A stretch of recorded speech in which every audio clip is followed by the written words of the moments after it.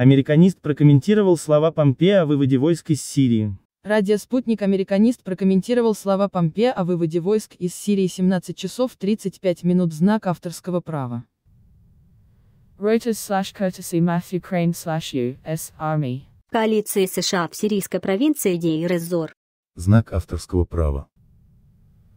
Reuters slash courtesy Matthew Crane slash U.S. Army. Госсекретарь США Майк Помпео подтвердил, что Соединенные Штаты выведут войска из Сирии. В эфире радио «Спутник» политолог-американист Рафаэль Ардуханин высказал мнение, что американская администрация в очередной раз играет на публику. 27 декабря 2018 года, 11 часов 34 минуты политолог, США продолжит играть роль мирового полицейского, но по-другому США не могут оставаться мировым полицейским, заявил президент страны Дональд Трамп. В эфире радио «Спутник». Доктор политических наук, профессор Тихоокеанского госуниверситета Илдус Ярулин высказал мнение о том, что стоит за подобными заявлениями.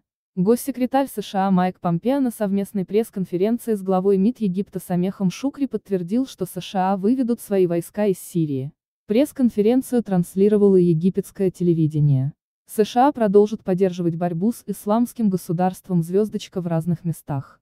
Что касается вывода американских войск из Сирии, то президент принял это решение, и это решение будет выполнено. Никаких противоречий нет, сказал Помпео. Президент США Дональд Трамп в середине декабря 2018 года заявил о победе над террористической группировкой «Исламское государство Звездочка» в Сирии, отметив, что это было единственной причиной пребывания американских военных в стране.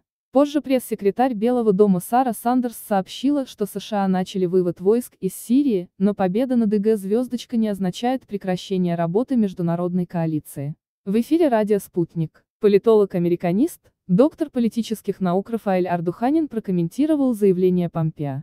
В данной ситуации это игра на публику. Никакие стандарты, никакие категории, критерии в этом деле не имеют никакого смысла, все будет зависеть от внутриполитической ситуации в Америке. Вообще для того, чтобы определить вектор, тренд внешнеполитического курса современной Америки, нужно пристально следить только за внутриполитической ситуацией. Если ему Дональду Трампу Ред удастся в какой-то сфере урегулировать противоречия, которые сейчас возникли с Конгрессом, то тогда процесс будет ускорен. Если этого не произойдет, у Трампа будут проблемы или Конгресс начнет импичмент, то, как показывает история президента, Билла, Клинтона, начнутся спорадические движения на международной арене. Это могут быть бомбежки, ввод войск или их вывод. Мы имеем дело с самой некомпетентной администрацией за всю историю Америки. А что двоечник в следующий раз выкинет, решая свою контрольную работу, сложно предугадать. Можно ожидать чего угодно, сказал Рафаэль Ардуханян террористическая организация, запрещенная в России. 25 декабря 2018 года, 20 часов американцы долго прощаются и не уходят. Политолог о войсках США в Сирии Международная коалиция во главе с США сообщила о новых атаках на ИК, несмотря на заявление президента Дональда Трампа о победе над этой террористической организацией. Политолог Михаил Синельников Аришак в эфире радио.